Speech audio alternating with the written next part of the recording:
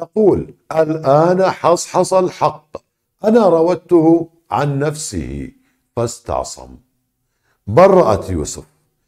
انتبهوا الآن. ماذا قالت؟ ذلك ليعلم أني لم أخنه بالغيب وأن الله لا يهدي كيد الخائنين.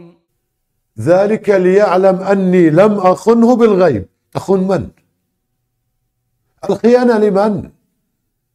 امرأة العزيز الآن برأت نفسها هي اعترفت أنا راودت عن نفسه مراودات مفاوضات أني أستغل بعض الآيات التي كان يحملها يوسف لكنه استعصم ورفض ذلك ليعلم أني لم أخنه بالغيب تقصد من؟